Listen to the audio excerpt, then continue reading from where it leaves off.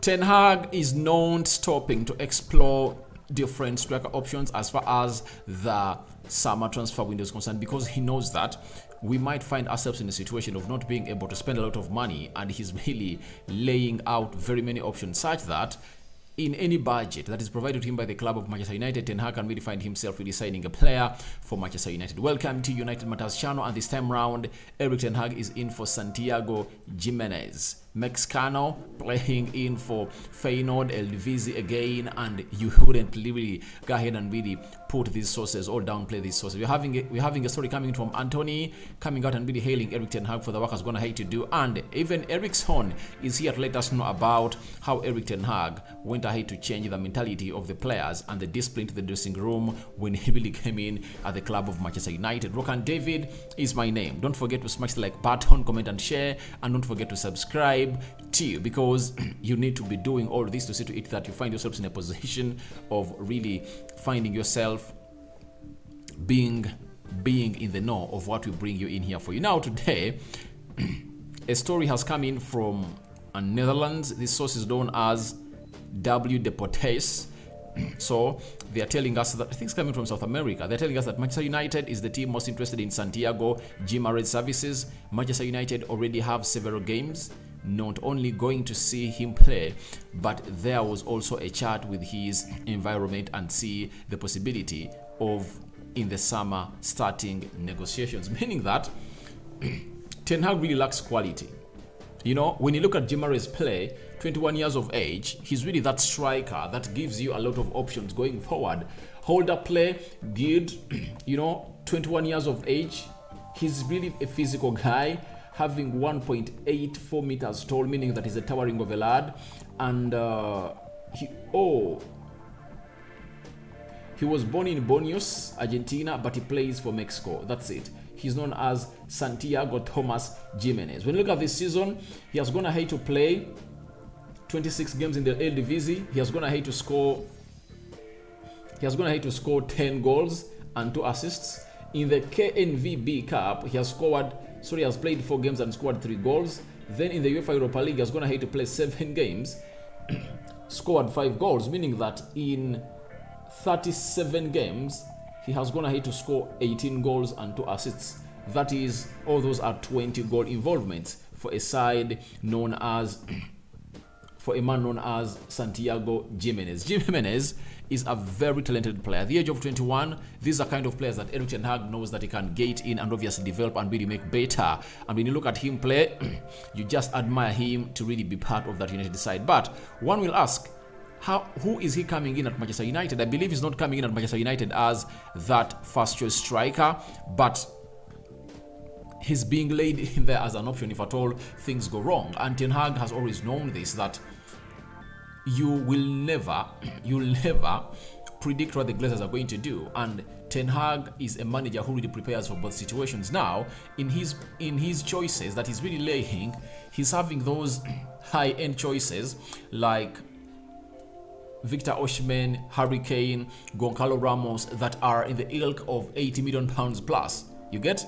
So, now he's having these other strikers like the Hojlunds who are in like 40 million pounds. You get? Uh, now, when you look at uh, Santiago Gimenez, when you look at his price tag, it's really very, very, very little for Manchester United. I think this is one of the deals that Erik Ten Hag might find himself sanctioning for all the Glazers tell him that you need to wait, no money, he'll first get in his forward that he wants. We've been told again that Manchester United have made have made the first approach to sign Feyenoord striker Santiago Gimenez, 21, United are the team most interested in him and have held initial talks about a summer deal. He has a buyout clause of 20 million euros release clause. Now, if the if the release clause is just 20 million euros, that is 18 million pounds. Those are peanuts to Manchester United, and I think Ten Hag would love to have a player like him. To me, him him being liked by Erik Ten Hag is an indicator that Weghorst is not needed and is not going to be signed at Manchester United because he has failed to live up to the expectation of the manager. They just gone ahead and really got the job done. But when Martial came in through, he was benched too. Then Marcus Rashford has been leading the line for the previous two games we've been playing at Old Trafford against Brentford and against uh, against Everton.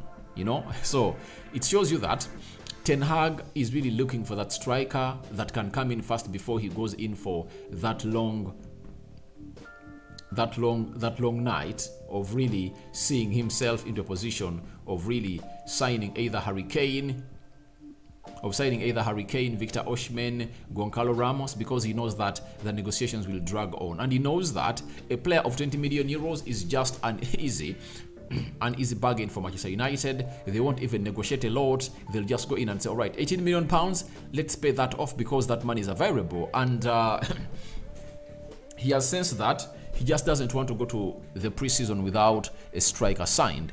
But that will rely on to who is going to be the owner of Manchester United. I believe if the Qatar is coming through and we take over Manchester United, then these won't be the kind of players that Ten Hag will be going in for, unless otherwise he gets in the first choice world class striker, then he gets in Santiago Gimenez as a striker who is really going to be up to you acting as an understudy for the team of Manchester United. Now, for Anton Martial, I think he'll find himself in a position of really fighting for his position. I don't think Ten Hag is going to sell Anton Martial. He's not going to sell him. He likes him, and we've always been told by Ten Hag that he wants three strikers. Even when Ronaldo and Martial were here, he was demanding for one more. That's why he was going for Joao Felix and Victor Osimhen in the summer of 2022. So Gimenez is a very good striker, you know, clinical, left-footed, towering over lad, and you've always had people like Fabrizio Romano talking about the physicality in every kind of striker that United is being linked to that Erik Ten Hag likes a physical striker who is really good on the ball and can really act as can really act as a pinnacle into or an apex into the attacks of a side called Manchester United. So that is Santiago Gimenez for you. Keep a little bit of an eye on him. We might really get him in to come in through and complete the trio of the number that Ten Hag really wants into his striking role. You know, if he gets in even Harry Kane, he'll have Anton Martial and maybe Santiago Gimenez. But it's also another option for Erik Ten Hag. If at all the board really takes long to really get him, get him a striker he wants, he would love to go in and really get in a player of of Feyenoord. And Ten Hag is obsessed with the Eredivisie players, and I think I was gonna hate to defy all the falsehoods that we are being circulated around by media that Eredivisie players don't perform well in the Premier League. At, on his team, Ten Hag has three players, Malacia, Lisandro Martinez and Antony, and they are not a disappointment this season, meaning that even Santiago Gimenez can come in through and obviously do the needful for the club of Manchester United. So let's wait and look around the corner and see how it's really going to be and whether these negotiations that have been really made by Manchester United are really progressing and going on well. But it's good to see that we are scouting players like Santiago Gimenez, who is like, who is 20 million years, who is 20 million euros, who is 20 million euros of worthness, but he's a quality player that you'd always love to watch lead your line. And I think it's better than Weghorst. then, Antony has come out and said, of course, Ten Hag helps me out helps me helps me out a great deal. He's always open for a chat and demands a lot from you as well and always listen to what he has to say with the aim of getting the team results and helping him. And i think ten hag is a believer of what of how antony and how good antony can become in this season and, and the other coming seasons because he knows his capabilities. Obviously when you're talking about the ceiling of Antony, obviously, no doubt, no doubt, his ceiling is high, his talent is undoubted, but I think selfishness is really costing himself, is, is almost is costing himself a career at Manchester United. In the previous games I've seen him play, he just goes in for those calling issues for those calling efforts. Even if he tries it for the first time, second time and fails, for the third time, he just keeps going in for the same thing and he doesn't really look out for an assist. Yet to me, I believe looking out for an assist would make him unpredictable and obviously make him a more threat in front of goal than any of those players that play into the forward positions of Manchester United. Because for him, he's press resistant, his talent enables him to really do a lot on the ball, and I think he can obviously make the defenders have a wrong thought about him and then he acts in a very proper way that will see him really going to the levels of really becoming one of those players that is really so much important for the club of Manchester United. But if Ten Hag is keeping pushing him to really get better and better, that's another huge positive that will always come out and really hail as a man.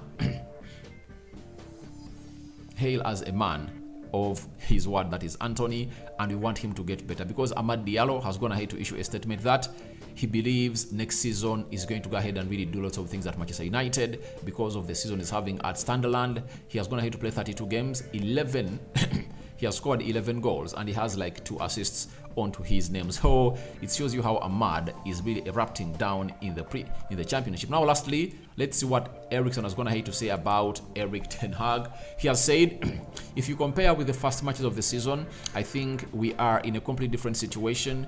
We have already won a trophy, which is exceptional compared to our debut. Ten Hag brought discipline in terms of football and ideas compared to the beginning when you look at the guy now, you know that they. We look at the guys now, you know what they do on the pitch. We brought he brought structure, discipline, and a nice play, and a nice way of play. So, talking of the discipline, obviously, I think Ronaldo was really one of those huge blocks that Ten Hag had failed to tame, and Ronaldo was doing lots of things to really show Erik Ten Hag that I'm Ronaldo and you need to really dance to my tunes. And Erik Ten Hag was telling Ronaldo too that please, I'm the manager of Manchester United. I've been given full authority to fire and hire. That's it. And obviously, at the end of the at the end of it all, Ronaldo found himself leave the club of, of, Manchester United. And I believe Ronaldo leaving the club of United helped us a lot because we are no longer having indisciplinary issues, and Ten Hag can really tame all those players because he has gone ahead to tame the ego of one of the best players in the world by far. That is Cristiano Ronaldo, and that puts him in a position of not not ruling out. Not ruling out that dressing room of being in discipline again. So I think he's really so much on point and he has really brought a way of play. That is what Eriksen is really hinting on. And obviously, that's also another given for Erik Ten Hag because he has really given us a style of play that has really shown us really dominated very many games and obviously turned Old Trafford into what we call a, a fortress. So, guys, your thoughts onto that are welcome in the comment section below. What do you think about Ten Hag's new forward option? That is Santiago Gimenez, 21 years of age, plays for Fre for Feyenoord. He has he has 18 goals in uh, he has 18 goals in 37 games. They are still into the UEFA Europa League, and you never know, you might even find them and obviously play against them. Then, what do you think about Antony? As Erik Ten Hag is keeping him is is is pushing him to become one of those players that obviously has to go all out and do the needful for the club of Manchester United in the field of play to really bring on quality that is really undisputed. Then Eriksen hailing Erik Ten Hag for the work he has gone ahead to do to bring in structure, discipline, and a way of play that the boys at United are really enjoying. I sign out for now. See you later. Manchester City is leading Bayern by one goal to nil. Kevin De Bruyne has just been taken off by the manager of Man City. So let's wait and see how that game really ends. But we don't want to see Man City winning a treble. And this time round, we United fans are really are supporting Bayern Munich. I sign out for now. See you later. I cover you all in the precious blood of Jesus Christ. May the human God bless you abundantly. I'm out.